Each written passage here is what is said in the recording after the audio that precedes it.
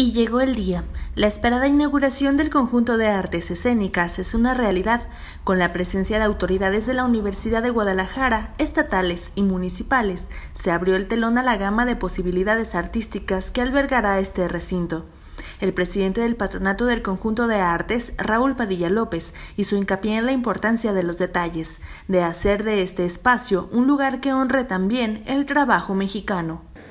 Para que se realizara lo diseñado, Trajimos hasta aquí todo tipo de materiales, entre ellos los mármoles mexicanos sobre los que estamos en estos momentos, y las maderas de Ocotlán, Jalisco, que recubren con armónicos triángulos o en mágicos teclados las superficies de nuestras salas y que harán que la música se deslice, nos acaricie, nos transforme.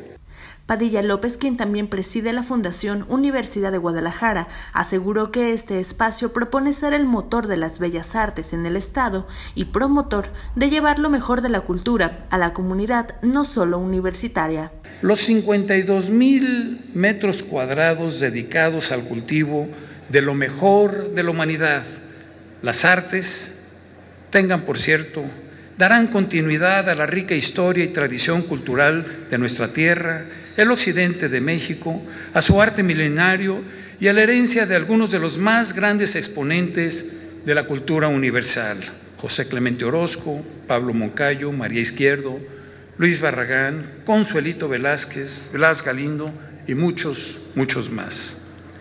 Espacio para que las artes escénicas se creen y se recreen se compartan, se difunden, se difundan y lleguen a millones de personas. Asimismo, este recinto es uno de los pilares más importantes de lo que será el Centro Cultural Universitario, que también albergará a estudiantes de las ramas de artes, según explicó el rector general de la Universidad de Guadalajara, Tonatiu Bravo Padilla. Una vez que se trasladen las escuelas preparatorias número 10 y Politécnica Jorge Matute Remos a sus nuevas instalaciones, Aquí será la sede de la División de Artes y Humanidades del Centro Universitario de Arte, Arquitectura y Diseño, integrándola al Distrito Cultural Universitario. Y esto nos permitirá articular el trabajo académico, precisamente que en un futuro probablemente pueda culminar con la creación de un centro universitario específico para la arte, la cultura y la música, como en muchas partes del mundo ocurre. Por su parte, el gobernador del estado, Jorge Aristóteles Sandoval, destacó el trabajo que ha realizado la Universidad de Guadalajara en pro de llevar la cultura y las artes a todos los rincones del estado, por lo que aprovechó para destacar la labor del ex rector Raúl Padilla López. Y quiero reconocer, me parece apto en este momento, a un hombre que es un hacedor, un hombre que cuando llega un proyecto a la mesa de un diputado, de un alcalde, del gobernador, del presidente de la República, hay que creérsela, porque lo logra. Independientemente de obstáculos, colores partidarios, administraciones y gobiernos, hoy estamos aquí haciéndolo realidad. Felicidades por eso, es un gran acierto, Raúl Padilla López.